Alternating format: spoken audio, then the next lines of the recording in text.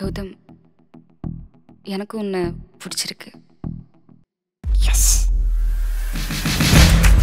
ரெண்டு வருஷமா லவ் பண்ணிட்டு இருக்கேன். அப்பவே சொல்லியிருந்தா.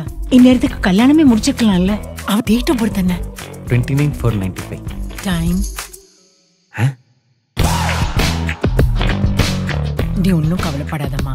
கல்யாணத்துக்கு அப்புறம் நான் உன்னை என் பொண்ணு மாதிரி பாத்துக்கிறேன். நம்ம எல்லாரும் ஒன்றாவா இருக்க போகிறோம் இங்கே பாரு மீரா. எனக்கு அப்பா கிடையாது. எங்கள் அம்மாவை தனியாக விட்டு வரல என்னால் யோசிச்சு கூட பார்க்க முடியாது. கல்யாணத்துக்கு அப்புறம் இந்த காலத்துல ஹஸ்பண்ட் ஒய்ஃப் ஒண்ணா சேர்ந்துருக்கிறதே பெரிய விஷயம். இப்போ போயிட்டு அம்மாவோட இருக்கணும் அக்காவோட இருக்கணும்னா ஐயோ நினச்சி பார்க்க முடியாடா டேய். உன்னையும் உங்கள் அம்மாவை பிரிக்கிறதே எண்ணம் கிடையாது. ஒரே வீட்டில் ஒருத்தரோட ஒருத்தர் லைஃப் லாங் வாழணும்னா எனக்கு அவங்கள பற்றி நல்லா தெரிஞ்சிருக்கணும். இப்போ என்ன என்ன பண்ண சொல்கிற எனக்கு ஒரு ஐடியா எனக்கு ஒரு ஐடியா ட்ரிப்பா கல்யாணத்துக்கு முடியாது ட்ரிப் போவாங்கடா அதுவும் மாமியாரோட? ஆமா யாரெல்லாம் போறோம்? எங்க போறோம்? கூர்க். ஓ ஃபாரின் ட்ரிப்பா ம் குட் மார்னிங் நண்பா.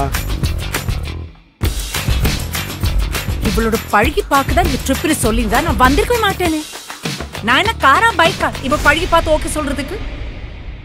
அம்மாவும் ஒய்ஃபும் காட்டில் மாட்டிக்கிட்டாங்க. சார் இந்த பரிசுல ஏகப்பட்ட வைல்டு அனிமல்ஸ் இதெல்லாம் மீறி உனக்கு லக் இருந்தா கிடைக்க மாட்டேன்.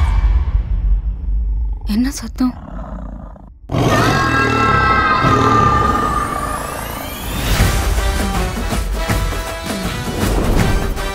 அரே பாப்ரே ஃபோக்கஸ் போச்சுடா மூடிட்டு உள்ள போடா.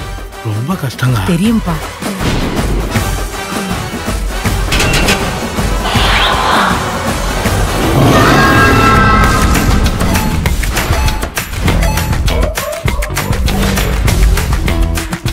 இன்னொரு தடவை. எனக்கு ஒரு ஐடியா இருக்குன்னு சொன்னேன்.